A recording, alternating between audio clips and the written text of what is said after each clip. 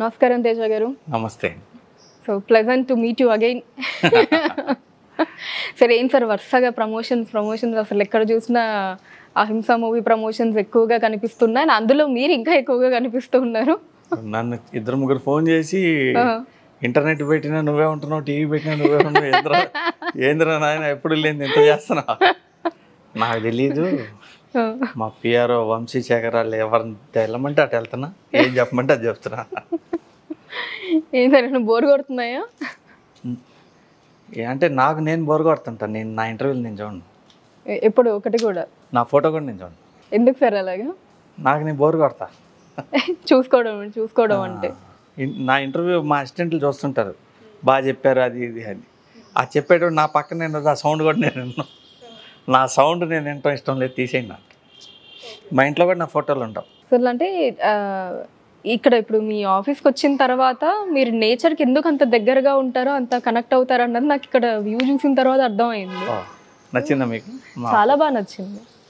కాదు కన్స్ట్రక్షన్ అది కూడా చాలా డిఫికల్ట్ అయి ఉంటుంది కదా సార్. అంటే రాళ్ళు కొట్టకుండా చెట్లు నరకకుండా ఇల్లు కట్టాలి. పెద్ద టాస్క్ ఇచ్చారు అయితే ఇంజనీర్లకి. మానేసి వెళ్ళిపోయారు నేనే చేసుకుంటున్నా. అవునా?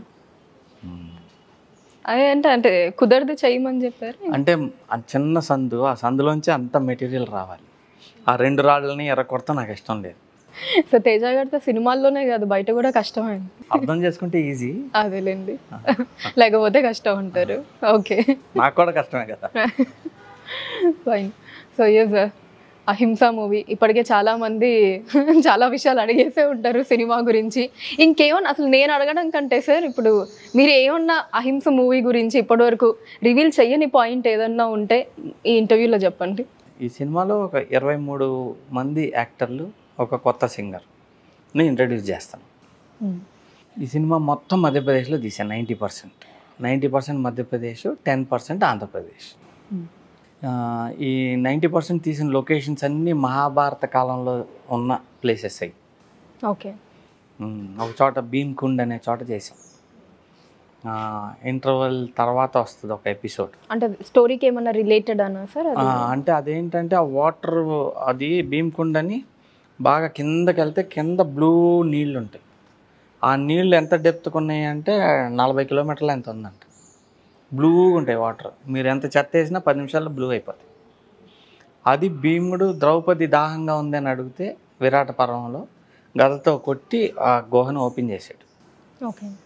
అని అక్కడ దాని వెనక అక్కడ వెళ్ళి షూటింగ్ చేసాం చాలా బాగుంటుంది. ఇంకోటి బృహస్పతి కొండ అని ఇంకో లొకేషన్లో చేసాం అది చాలా బాగుంటుంది. అన్నీ ఇప్పటిదాకా ఏ సినిమాలో రాని ప్లేస్లు. మధ్యప్రదేశ్ గవర్నమెంట్ కూడా మాకు బాగా సహకరించి వాళ్ళు టైఅప్ చేసుకున్న వాళ్ళతో. అక్కడ చేసాం సినిమా మొత్తం. ఆ లొకేషన్కి వెళ్తాం కష్టం. బాగా కిందకి వెళ్ళాలి దిగాలి మళ్ళీ పైకి ఎక్కాలి అలా ఉన్నాయి. కానీ మంచి. ఇంకోటి పన్నా టైగర్ రిజర్వ్లో చేసాం. ఆ చుట్టూ పులులు అవి తిరుగుతూ ఉంటే మేము మధ్యలో షూటింగ్ చేసాం. వాళ్ళు చెప్తా ఉన్నారు ఏ చెట్టుని దేన్ని మీరు ముట్టుకోమాకండి. మీ బాడీ టచ్ అయినా సరే పులి మీ కాటేజ్ దగ్గరికి వచ్చేస్తుంది. అదేంటి అని. ఆ పులులన్నీ మార్కింగ్ చేస్తాయి అటు ఏరియా పదకొండు కిలోమీటర్లు మగ పుల్లు ఉండే ఏరియా. దాంట్లోకి వేరే వాళ్ళు ఎవరు రాకూడదు. ఆ మార్క్ చేసిన దాన్ని యూరిన్తో మార్క్ చేస్తుంది. మీరు కనుక చెట్టును అనుకున్నారంటే ఆ మార్క్ మీకు మీ బాడీకి టచ్ అవుద్ది. అచ్చా అచ్చా మీరు ఎక్కడికి వెళ్ళినా సరే అది దాని ఏరియా అనుకుని వచ్చేస్తుంది. ఆ వాసన తోటి. వాసన ఓకే. కాబట్టి మీరు ఏ చెట్టు పుట్ట ముట్టుకోకుండా జాగ్రత్తగా ఇంట్రెస్టింగ్ అయితే. ఇది కొత్త ఎక్స్పీరియన్స్ మాకు. ఓ పులి ఇట్ట మార్క్ చేస్తుంది. అది మళ్ళీ మన చెప్తానే ఉన్నాడు వెళ్ళొద్దా చెట్టు దగ్గరికి వెళ్ళొద్దా దాని మీద మార్క్ వేసింది. అతను కనిపిస్తుంది మాకు కనిపించలా.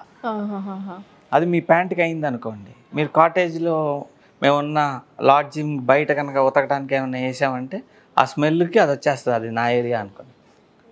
లేదు అది రాలా వేరే పూలు వచ్చింది అనుకోండి. ఇది కొత్త పూలు వచ్చింది దాని మార్కని అది వచ్చి ఇక్కడ కాపలా కాస్తుంది. ఓకే. బో. మంచి పాలిటిక్స్ ఉన్నాయి సార్ టైగర్స్లో.